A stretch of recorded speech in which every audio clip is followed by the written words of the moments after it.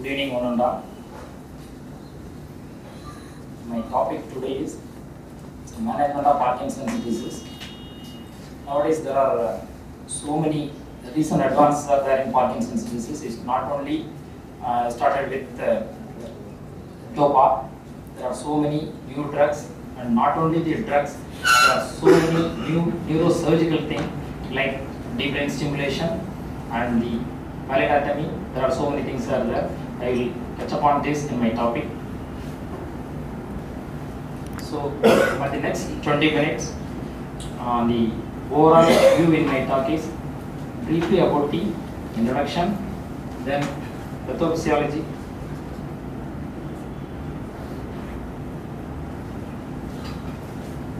then pathophysiology about the Parkinson's disease, then clinical features of Parkinson's, one slide about the Hoehn Yahr staging for Parkinson's disease, then the main part is management, how to treat Parkinson's disease, particularly in the initial period, then more advanced disease, that is, disease started after 5 to 10 years and more than 10 years, then treatment for mental status changes. So Parkinson's disease, it's not a new disease, it's a very old disease. It's uh, first described in 1817. It's one of the neurodegenerative disease. Even it was first described in 1817. Still now there is no permanent cure for this disease. Only with the drug and other measures we have to control the disease pro- progression or disease process, but it's not a 100% curable disease. It affects ages from 40 onwards, but mean age at diagnosis 70. It's a complex disorder. There's various motor and non-motor and neuropsychiatric features. Some uh, motor features are akinesia, tremor, and rigidity. In rigidity, it's a lead pipe or orbital rigidity, and non-motor findings. In Parkinson's disease, usually we concentrate on the motor findings, but still some non-motor findings is very disturbing to the patient. For example, the sleep disturbances and the dysphagia and the swallowing difficulty and this kind of non-motor symptoms also to be addressed and neuropsychiatric features. For example, the dementia and the memory impairment and the psych- psychiatric or psychological impairment to the patients and the depression in Parkinson's disease patients. Briefly about the pathophysiology, normally the movement depends on the dopamine production in the substantia nigra that innervates the striatum. In Parkinson's disease, what happens is a massive degeneration of the dopamine producing neurons in substantia nigra. Remember, up to 60 to 80 percent of these neurons are lost, no symptoms will appear. Only when it crosses 60 to 80 percent of the degenerative cells, the symptoms of Parkinson's disease appears. So, when we are going to the treatment for the or the drug classifications for the Parkinson's disease, we have to understand this diagram. Otherwise, it's very difficult to understand the treatment process. So, from tyrosine through the tyrosine hydroxylase, DOPA, that is dihydroxyphenylalanine, is produced. Then DOPA is converted into dopamine. This dopamine, this is then diffused to the club and through the monoamine oxidase and the catechol O-methyl transferase, it turns to be homovanillic acid. So our drugs act at various levels. For example, the MAO inhibitors, for example, the selegiline and rasagiline act at this level, and the COMT inhibitors like entacapone and tolcapone acts at this level, and the our DOPA acts here, and the this is the DOPA receptor. Here, the dopamine agonist, for example, the bromocriptine and the ropinirole and the uh, acts here. So this is the simple pathophysiology. Normally the dopamine level and the acetylcholine level are in the equal range. In Parkinson's disease, happens? The dopamine level is reduced. So once again, this is the drugs acting at which level. So the levodopa acts at this level and this is the acetylcholine, acetylcholine receptor, this is the trihexyphenidyl acts at this level. Then the carbidopa, benserazide and tolcapone and entacapone here. This is the blood-brain barrier. The, the purpose of giving this drug is to increase the level of dopa in the blood to reduce the dopa decarboxylation at the periphery. The antiviral drug amantadine acts here and the selegiline and the rasagiline, that is the MAOB inhibitors acts here. And here in the postsynaptic plate, the dopamine agonists act. That is the bromocriptine, pergolide, pramipexole and ropinirole. So the symptoms, how to uh, remember the symptoms, it's very easy manner. It is the mnemonic is TRAP. That is T stands for tremor, R stands for rigidity, A stands for akinesia, P for postural instability.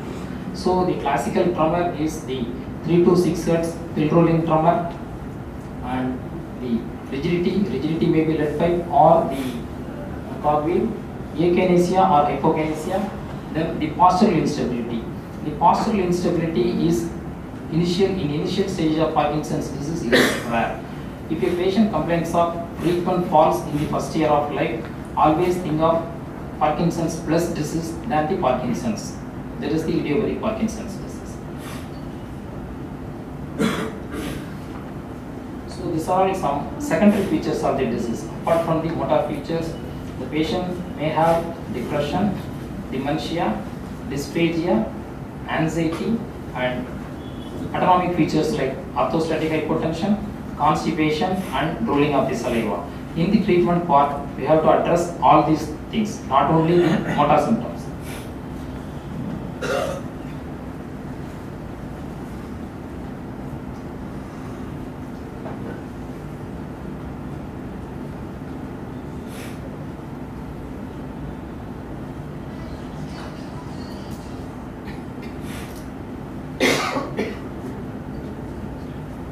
So video.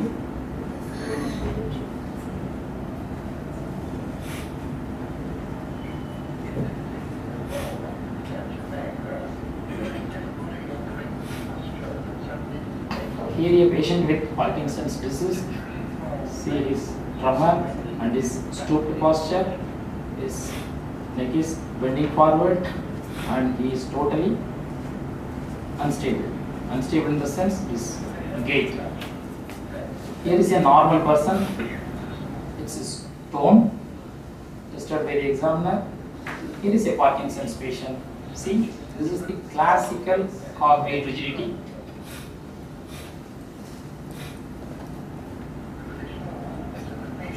This is in a normal person's movement. This is the test for hypokinesia or akinesia.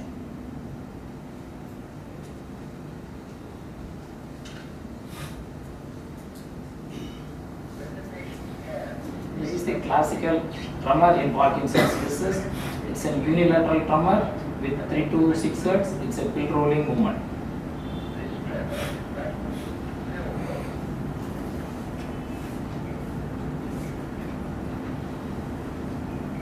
So this is the classical gait in Parkinson's disease. It's a short shuffling gait and the patient has difficulty in turnover and in block only the patient is able to turn and once again the tremor is there.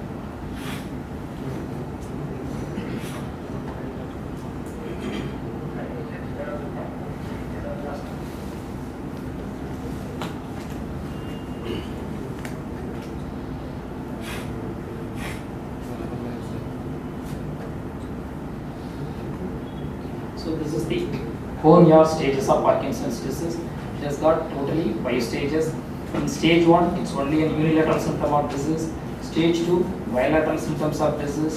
Stage three, patient has got bilateral symptoms plus postural instability. Stage four, all the above plus patient need assistance. Without assistance, the patient is not able to do anything at that stage. Stage five, stage five, patient cannot function independently.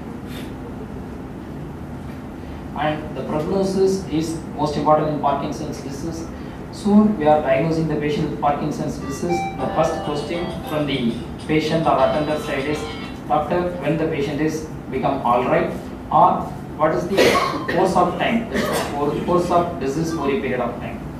Actually, the first five years are really a honeymoon period for the patient and for the doctor, and patient usually generally doing well.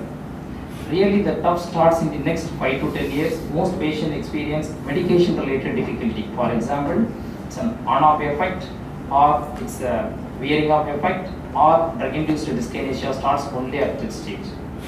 By 10 years, many develop poor balance. This recurrent fall is there, so elderly person with fall, with head injury, with, sub, subdural hematoma, something like that, there's only complication. So, come to the treatment of Parkinson's disease. First thing is make correct diagnosis because it is a diagnosis, no specific test is available for Parkinson's disease. It's only a clinical diagnosis is there. So the close differential diagnosis, for example, the vascular Parkinson's disease and the normal pressure hydrocephalus and the drugs, there is the antipsychotic induced Parkinson's disease that has to be ruled out.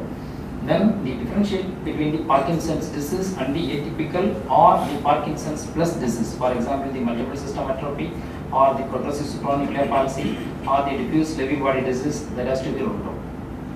In atypical Parkinson's disease, there will be early speech and balance will be affected and there is very poor response to L-DOPA and less commonly characterized by tremor. So after the diagnosis of Parkinson's disease is made, treatment depends upon several factors. One is functional disability of the symptoms. Usually we won't start treatment or the L-DOPA for the patients without functional impairment. When a patient has functional impairment only, we have to start medical management and work status of the patient. For example, a patient, a retired person's need is entirely different from a working patient's need and the presence or absence of cognitive difficulties and the financial situation of the patient too to be taken into consideration. And once again, the gold standard drug is levodopa. It's well established drug for bradykinesia and rigidity. Usually started with very low dose, 50 to 100 milligram, up to 600 milligram per day to be given. And we have to watch very carefully for the orthostatic hypotension and the nausea. And when it was combined with peripheral decarboxylase inhibitor to prevent the conversion of dopamine in the periphery before it crosses the blood-brain barrier. So the availability of dopa level is more.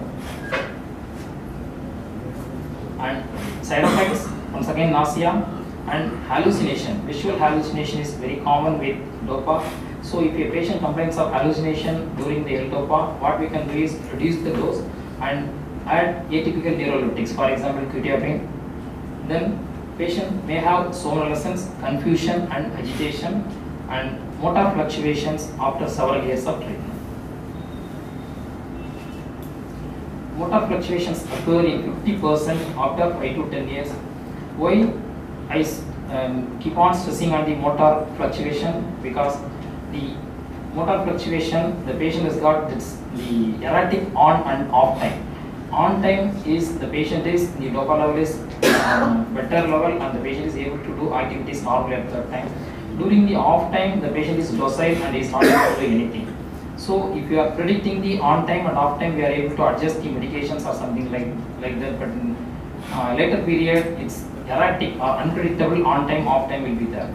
And wearing off effect. Usually the dopa because the uh, the period is 92 off life is 90 to 120 minutes but during the later period wearing up there is earlier period the dopa effect lost so we have to give the control release preparations then dyskinesias and dystonias.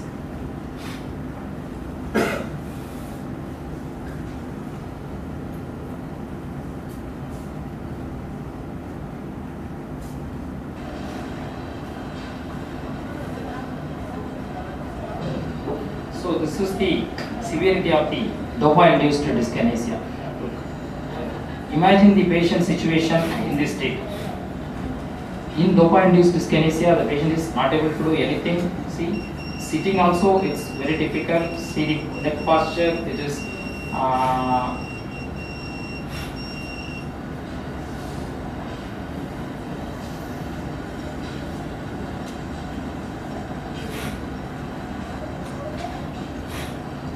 So when we are uh, discontinuing the dopa medications, we have to be gradually discontinued over weeks to prevent the malignant neuroleptic syndrome or akinetic crisis.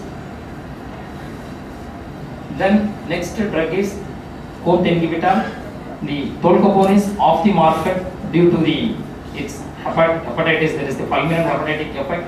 And for entacapone, it's mainly used for the wearing off or end of the of effect. The dose is 200 to 600 milligram in divided daily with L-dopa. The side effect profile is diarrhea. Then the dopamine agonist, it has got two groups. One is ergotamines and another one is non-ergot preparations. In the ergot preparations, bromocriptine is there. It is 2. Point, start with 2.5 milligram of BD up to 5 milligram TDS. And other drugs are pergolide and cabergoline. And non-ergot preparations are pramipexole, ropinirole and transdermal rotigotine. It is the ropinirole dose is 0.25 milligram TDS up to 3 milligram TDS we can give. So this is a study to compare between the dopa and the dopamine agonist. Usually the dopamine agonist it has got less wearing off and dyskinesias in patients treated with dopamine agonist. And one more thing to be uh, carefully considered is in dopamine agonist patients, sudden onset of daytime sleepiness and sleep attacks. So we have to be very careful when suggesting the dopamine agonist. Then next group is MAOB inhibitors. It is adjuvant to L-dopa. Example, selegiline started with 5 milligram OD. Next group is, next thing is rasagiline and it is somewhat helpful in young, early in the disease. Then anticholinergics, it is once again it's an adjunct to L-dopa and best avoided in elderly and it decreases the acetylcholine to balance to decrease L-dopa level. Example, trihexyphenidyl started with 2 milligram TDS.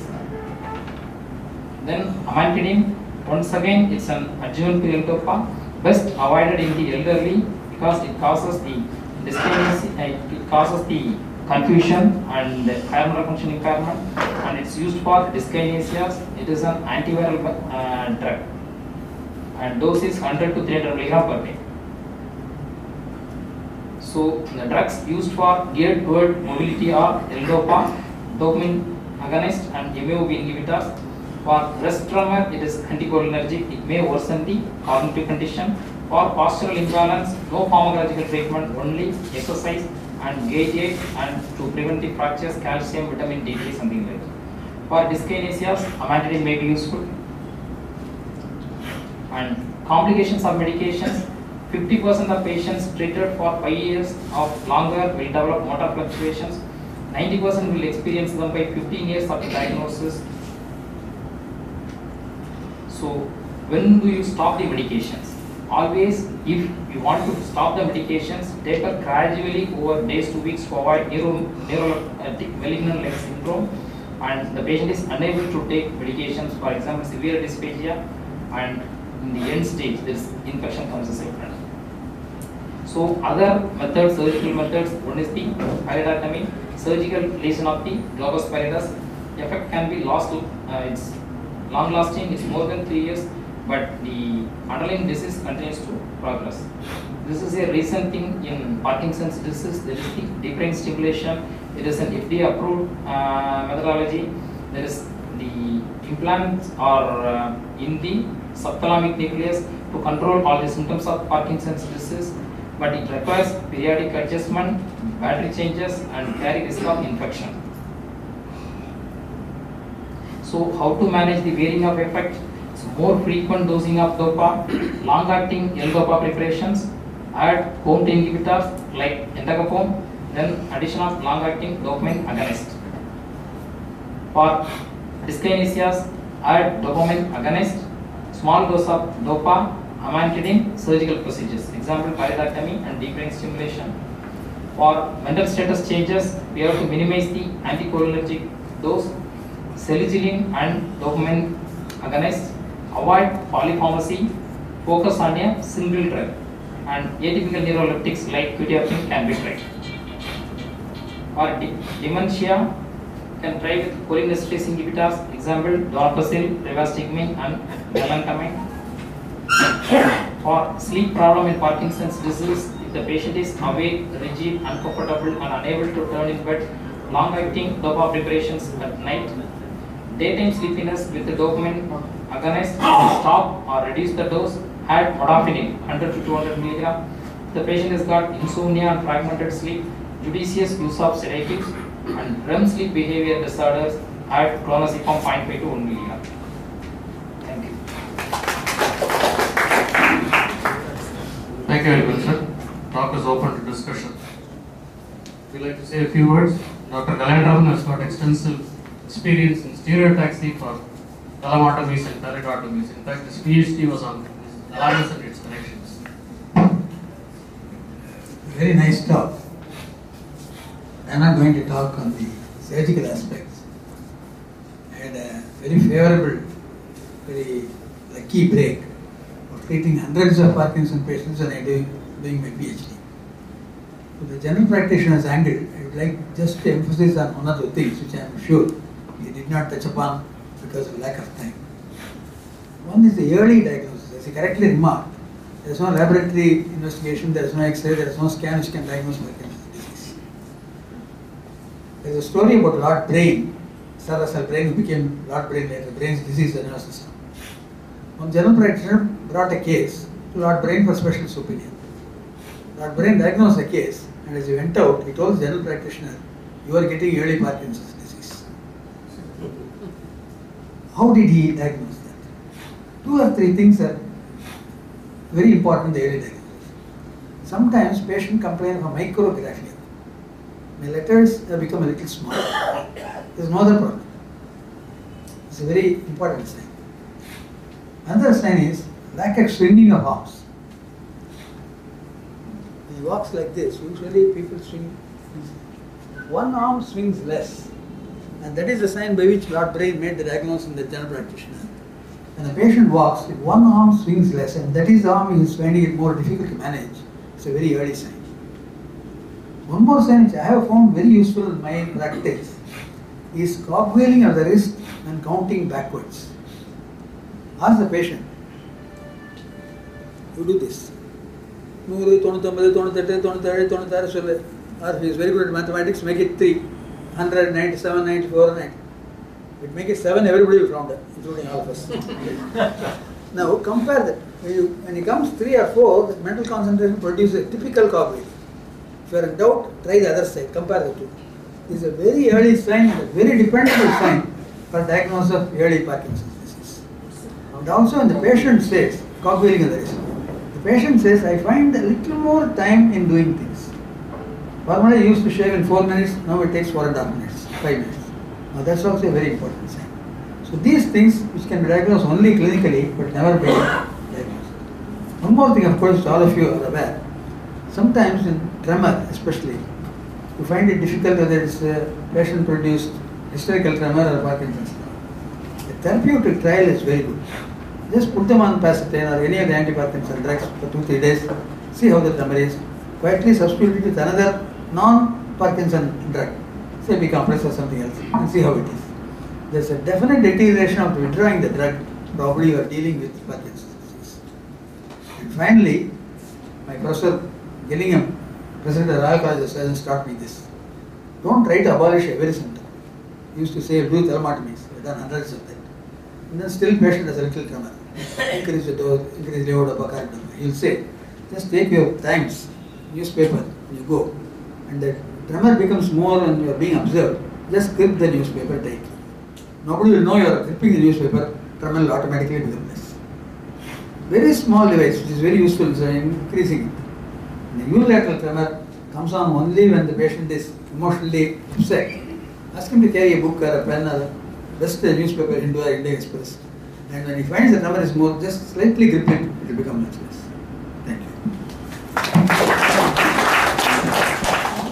Other questions and contributions from the audience, please. Thank you, sir, for such a nice demonstration. And I recall my days as a student. I've been taught by US with Dr. K. Jagannath. They're all pioneers in the neurology. I think uh, L-DOPA has come to market in, in 1960s or something. Before that, a lot of uh, stereotaxic surgery units were there in Europe. And once they introduced this levodopa, uh, they had to shut down many of the centers and they used to describe even the bread out of the neurosurgeon as being taken out because of the introduction of this levodopa. And uh, Dr. Muthukumar, how often you have seen this uh, dopa induced this kind of, you showed a very nice uh, uh, illustration. And the second question is, what is the role of stem cell therapy in this disease? And the dopa-induced dyskinesia, it's present only in the later stage of the disease. That is after uh, usually five or ten years only. So it is the percentage-wise, it is commonly it's 10 to 15 percent of the patients develop the dopa-induced dyskinesia. And the role of stem cell therapy, even though it is only in the research stage only, it is not an FDA approved for Parkinson's disease. Uh, it's, I think it's in India or any other places, it is, I think it's not practiced. Process, I think. Yeah, I went for a, this Reliance lab is there in Bombay, I went for a training there for stem cell, where they, for the, uh, the- the- some researchers are going on for stem cell therapy in animals there. They're having one unit in Bombay, it's mainly for the, uh, it's IVIG production, they uh, generate their own IVIG there, where they are having one unit for stem cell, but still it's in a budding stage only. I wish to share my personal experience. When I was a third year student in 1974, I took my father to consultation with Dr. Kalyan Raman when he was only 45 or 50 for Parkinson's disease. I lived with my father with Parkinson's disease for nearly 30 years. I knew the entire magnitude of the disease so well. The neuropsychiatric manifestations are really disabling the patient because he was a very sportsman, very extrovert personality. When he was reduced almost to immobile, the important thing in only one neurological disease where the intellect is preserved always. Even at, when I come at 11 o'clock, he used to, without the great difficulty, he used to turn his head. இப்பதான் வரியா இன்னும் சாப்பிடலையா all his mental faculties were preserved. But over the years, he started hallucinating as if his sisters were calling, and then he had severe depression. He told about quetiapine and other molecules, but it's very difficult to balance. When you introduce a new antipsychotic, the Parkinson's disease becomes worse. When you introduce a uh, antidepressant medication, his constipation and his postural hypotension becomes worse. So it's a really a very debilitating illness, especially when you come across neuropsychiatric manifestation. Thank you.